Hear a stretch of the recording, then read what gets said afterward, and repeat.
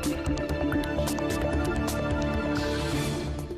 Seri Jamil K. Baharum kata mereka akan monitor all the liberal groups uh, in the country because they, uh, he thinks that uh, these liberal groups uh, promote deviant punya uh, beliefs. Apa dia? Apa dia pilih? Deviant. Deviant uh, and then kita, uh, and they may have their publication censored if they try to post on print or electronic uh, media. So um, he said he had labelled the liberal movements penting understandings which deviate from faith and Sharia. So uh, what's your comment on, on this? Ha, dia tu sepatutnya dituduh di bawah Section 124. Orang macam tu. Merosakkan demokrasi. Ya?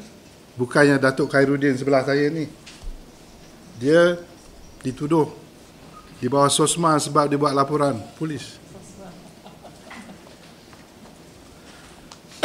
Jamil K sebagai Menteri Kabinet Kerajaan Malaysia, ya, kalau dia akui ini negara demokrasi, dia kena hormat hak asasi semua kaum, semua rakyat. Semata-mata dia bukan liberal, dia tak boleh tangkap saya. Sebab pandangan saya, kita berhak semua itu ada dalam perlembagaan. Yang ni yang masalah Najib ni, menteri-menteri dia semua ni tak faham. Dia ambil semua menteri yang tak faham. Ha? Yang ni susah sebab tu kita suruh dia berhenti. Jamil K ha? tak faham, Azalina tak faham, Subjudice tak faham. Jadi sebab itu kita kata kalau kita nak kita sayangkan negara ini, kita sayangkan cara hidup kita sekarang, hidup antara kaum, antara agama, antara fahaman, demokrasi, maka kita kena ubahlah. Apa yang dia kata itu karut lah. Tapi dia boleh ugut lah, memanglah. Dia ada polis, dia boleh tangkap.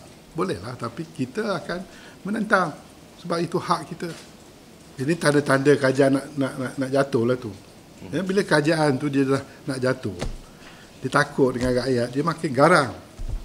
Ha, jadi ini simptom, ya, tanda. Kalau kita demam panas, kita ada tanda.